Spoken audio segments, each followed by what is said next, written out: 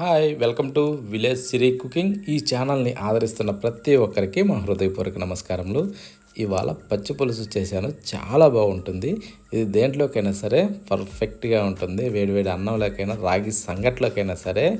ఇంకొకటి ఉన్నది సద్దన్నంలోకైతే ఇంకా బెస్ట్ నెంబర్ వన్గా ఉంటుంది. ఓకేనా? ప్రతి ఒక్కరు కూడా ట్రై చేయండి. ఈ విధంగా చేస్తే ప్రతి ఒక్కరు కూడా సూపర్గా కుదురుతుంది. ఎంత కొత్త వాళ్ళకైనా సరే ఇది నెంబర్ వన్ రుచి వస్తుంది అన్నట్టు ఎవరైనా చేయొచ్చు. చాలా సింపుల్గా చేసుకోవచ్చు ఇది. ప్రతి ఒక్కరు కూడా ట్రై చేయండి. ఎలాంటి తడబాటు లేకుండా సింపుల్గా చేసేస్తూ మంచి టేస్టీగా ఉంటుంది. ఈ విధంగా ఫస్ట్ ఏంటంటే మనం కట్టెలతోనే పొయ్యి మంట వేసుకోవాలి. మంట వేసినాక ఆ మంటను చల్లారిపి ఆ నిప్పుల మీద ఈ ఎండుమిరపకాయలని వేసుకోవాలి. అది తొడాలు ఉండాలి తొడాలు ఉన్నప్పుడే వేయాలి. ఓకేనా? కొద్దిగా అలా వేసిన వెంటనే తీసేసుకోవాలి. లేకుంటే మసి మాడి మసిబుక్కులు అవుతాయి. కొద్దిగా అలా ఖాళీ కాలకముందే తీసేసేయాలి. అప్పటికే ఒక సైడ్ కాస్త నల్లగా అయిపోద్ది. ఈ టైప్లో మనం వేగనివ్వాలి. కాకపోతే ఆ టైంలో కాస్త కారు వస్తుంది దాని గురించి ఏం భయపడద్దు. చాలా బాగుంటుంది. ఓకే ఈ టైప్లో మనం కాలిన తర్వాత తీసి ఒక ప్లేట్లోకి వేసుకోవాలి. వీటికి లైట్గా కాస్త కాస్త కొద్దిగా అంటే బూడిదట్లా అతుక్కొని ఉంటుంది. అది కాస్త అలా తుడిసేసుకుంటే పోతుంది. దానివల్ల ఎలాంటి ఇబ్బంది లేదు.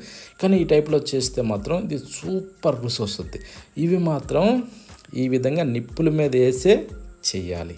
ఇప్పుడు మనం ఒక నిమ్మకాయ కంటే కొద్దిగా ఎక్కువ సైజ్ చింతపండు తీసుకునేసి ఒక గిన్నెలో వేసేసి దాంట్లో నీళ్ళు పోసి దీన్ని ఒక పది నిమిషాలు నాననిద్దాం. ఓకేనా?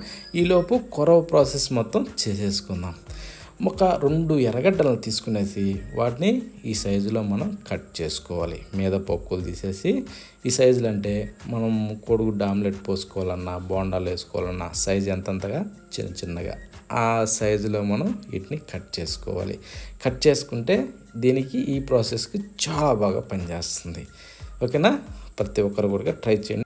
ఎవరైనా సరే స్కిప్ చేసి వీడియో చూస్తే అర్థం కాదు. స్కిప్ చేయకుండా వీడియో చూడండి అన్నీ అర్థమవుతాయి. ఓకే? ఇది చాలా మంచి రుచిగా ఉంటుంది. ఇది అమ్మమ్మలు నానమ్మల నాటి కాలం నాటిది ఇది. చాలా మంచి రెసిపీ. అప్పట్లో పెద్దవాళ్ళు చేసేది.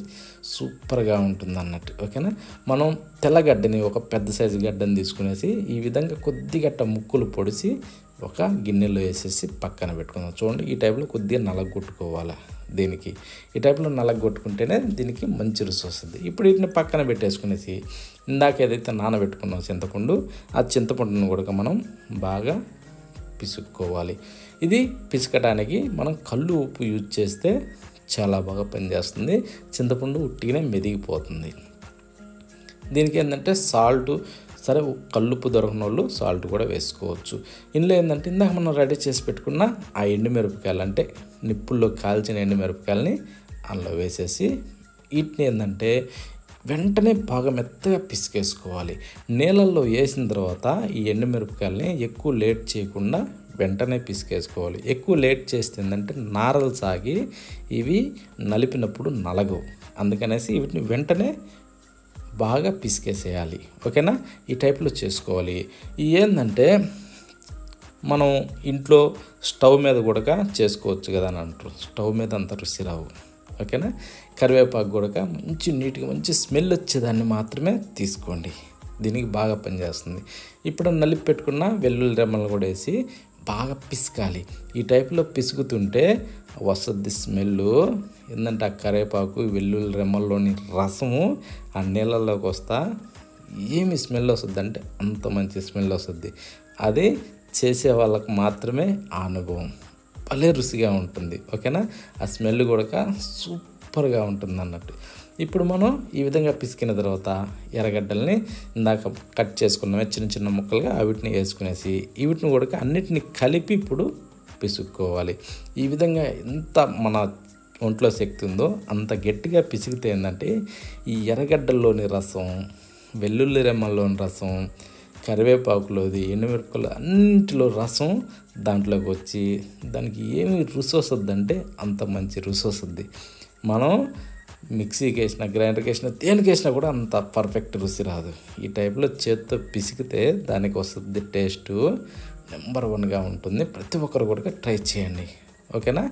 ఇది ఏంటంటే నిప్పులు బొగ్గుల మీద కాలిస్తేనే దీనికి సూపర్ రుచి వస్తుంది. స్టవ్ మీద అంత అనిపించదు ఓకేనా?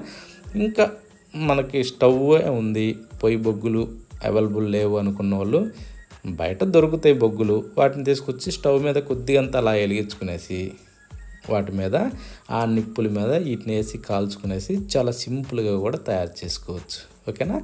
ఈ టైప్లో చేసుకోండి. ప్రతి దాంట్లో కూడా నెంబర్ వన్ రుచిగా ఉంటుంది. సద్దన్నంలోకైతే చెప్పే అవసరమే లేదు. అంత బాగుంటుంది. మన ఛానల్ని సబ్స్క్రైబ్ చేయండి. మళ్ళీ కలుద్దామా?